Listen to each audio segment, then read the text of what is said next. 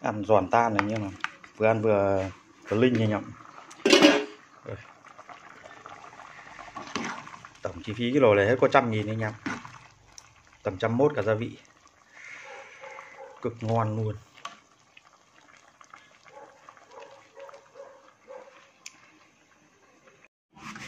Đây, hôm nay anh em à, vào món à, chế biến món à, dạ dày bò và lòng bò nhé. Giờ bóp giấm với lại muối xong rồi cho nước sôi vào. Vẫn tiết đấy làm nồi. Cắt cơn chơi chơi.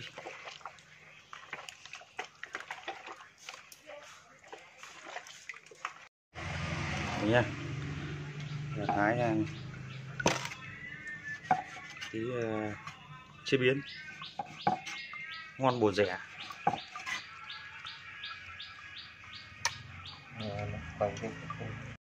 Luộc thêm mấy con tôm chơi chơi.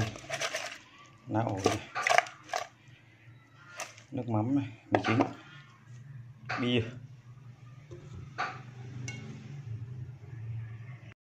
Cho thêm một ít gừng, ít xả vào cái chỗ tôm mình nhé. Còn cái gia vị này cũng à, để nấu súp à, súp vang luôn. Nha. Luộc lòng đã thái xong đây nha anh em. Bây giờ mình à, sẽ luộc cái nghệ đỏ này lên, lấy nước không lấy cái nghệ nữa đâu. Đây nhé xong bây giờ mình sẽ cho mỡ lợn vào đây xào xào qua đi. Và gia vị thì châu tỏi bò gừng. À, gừng đây. Cà chua nhé nhé và bắt đầu nấu cũng chưa mất rồi. Mình sẽ cho gừng này xả này tỏi này. Và mình sẽ đảo nó lên nhé nha. rồi xong à, mình phải cho một à, thêm ít à, ngũ vị hương vào đây nữa ở đây là cà chua tí mình cho luôn. Mình sẽ cho thêm à, bột lem nước mắm. Đợi đảo lên. Bây giờ đi mua gói ngũ vị hương gói này phải lâu quá. Cái mùa kia nó có gấc cơ. Đây là nghệ đỏ nhé. Bước lên để đổ vào đây. Có gớt để cho vào, nó đẹp hơn. Sẽ đổ bia vào đây nhé anh em.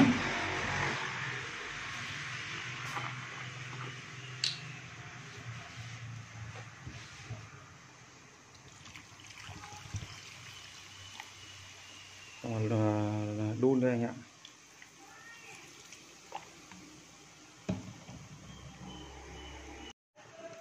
Tôm luộc bia lá ổi xà gừng. Luộc cho thằng trẻ con ăn, thích ăn. Luộc bia chấm phức. Chấm tương ớt. Rồi à, thắng cố đây. Sôi rồi nhé.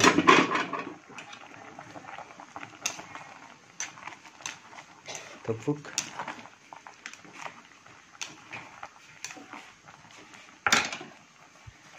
Đây, đã xong đĩa tôm uh, luộc bia, lá ổi, xả, gừng, gia vị, được, ờ, được tí nước canh.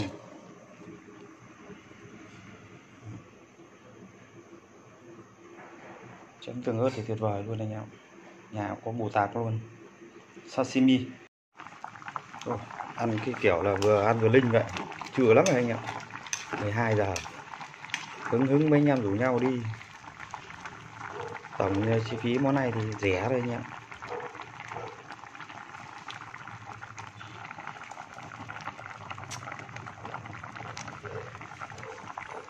Cực ngon luôn. Ừ giòn sật sật nha. Ăn giòn tan này nhưng mà vừa ăn vừa vừa linh nha nhộng tổng chi phí cái đồ này hết có trăm nghìn anh em tầm trăm mốt cả gia vị. Cực ngon luôn.